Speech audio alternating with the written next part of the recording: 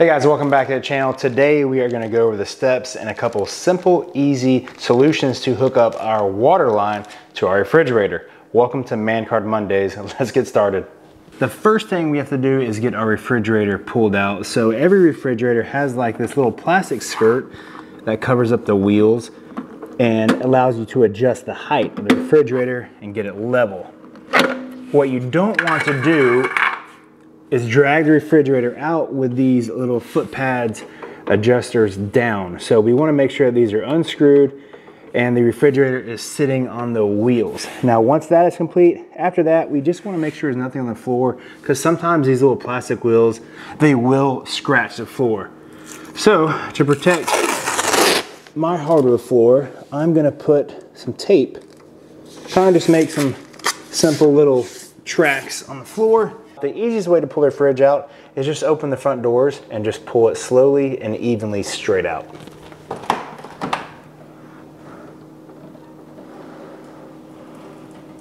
Now the refrigerator is out, now we go to the options of our water line kit. Now they have several different options of these on the shelves, uh, anywhere from a little plastic line to copper line to braided stainless steel.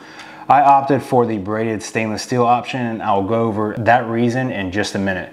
Now these are one quarter inch thread size and they are a compression fitting. Some of these kits will come with adapters so you can um, increase the size or de decrease the size of the fitting that they install behind your refrigerator. Before you go through any of those options or select your size fitting, I highly suggest pulling the refrigerator out like we have now getting behind there and looking at the fittings to see what size you have. Let's hop behind here and we'll see what fittings we have on ours. All the refrigerators have a plastic line coming out of the back. As you can see, ours is plastic. It's about 3 8 size and it goes down to an end hanging right here. And all the ones that I've seen on the refrigerator side all look like this. They have a little bit of slack and a stock line that comes with it. Now this, luckily, is a, a quarter inch thread, male thread on the refrigerator end, and that will fit perfectly on our line that we got because it has a double quarter inch female thread. Now for the wall side coming out, if you have a house that's newly built, you're gonna have something that looks similar to this right here. What this is, this little copper canister will be attached to the bottom and it, you also should have a valve, an on and off valve to turn this off. Luckily, again, we are met with a quarter inch male thread, so that's gonna work perfectly. And this little copper canister right here, it controls a water hammer. That way if you have um, a surge in water pressure or you turn your main water off in your house and turn it back on after repair, it won't surge inside the refrigerator and bust those components. The components that hold the water inside the refrigerator are not very strong and they actually bust pretty often. So you definitely want to add this if you don't have one. Now that we confirm those two components are going to fit and work perfectly, all we have to do is hook up the line. Now the one I prefer is a braided stainless steel line, always. I will never use anything but. We've renovated several houses and out of the four or five that we've done, I've had two of them actually leak water behind the refrigerator. And the only way we found out is from the floor, the wood floor under the refrigerator start buckling. Sure enough, we pulled the fridge out, it had the cheap plastic line. At some point when the fridge was being pulled and reset back in and out a couple times, the plastic line got kinked and started leaking. So I am a big component of running these stainless steel lines. Spend the extra money, it is not worth the leaks. That being said, we got stainless steel. So now let's get this line installed. I recommend like a five foot line because we do a lot of work and sometimes deep cleaning in our house. So the refrigerator does come out of its nook pretty often. So the five foot line will give you enough slack to be able to pull it out, get behind there, assess the line or even inspect it to make sure it's not working after install and then you can just simply push it back in. So the first end we'll connect will be to the wall side. And these are super easy. They do have the rubber compression fittings in there. Do not want to over tighten these because it will push out that rubber gasket and it won't work properly. So a full turn and just a good snug tightness will be plenty for these. And then for the back of the refrigerator, before you hook it up, just make sure you uncoil your line and that it's straight. And this side will hook up the same way. And then I like to have a set of pliers, that way I can hold the line fitting from the refrigerator while I tighten up the stainless steel water line. And again, just maybe a three quarters of a turn after it's snug will be plenty tightness.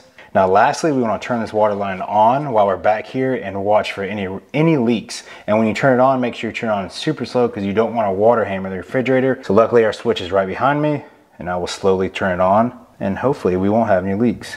All right, so I hear it running. So I just gave it a tiny little crack. And once you hear the water stop running, that means it's filled the line up with water and then you can turn it on completely. And that is it. We are running water to refrigerator. No leaks so far. Let's hop out, go to the front and see if it works.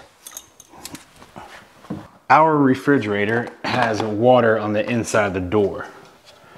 So as you can see, it has an ice maker and then a water system right here. So let's see if it works. All right, we got water. Flow two full cups out of the refrigerator. That way we get all the air bubbles out of the line. And now we simply go on the backside again and check for leaks. Both fittings seem to be great. No leaks at all. I can hear the refrigerator pulling water in already. Last thing we're gonna do is run this water line the best way we can to make sure it's straight and it will not kink or get ran over when we push the refrigerator back to its home. Again, this is your wall side coming out. It will look similar to this with a quarter inch compression fitting male thread coming out of the wall. Going into the female quarter inch compression fitting stainless steel line. In the back of the refrigerator, you will have one just like this. The plastic line you see is from the refrigerator, the stock one, and the metal line going down is the other end of our water line.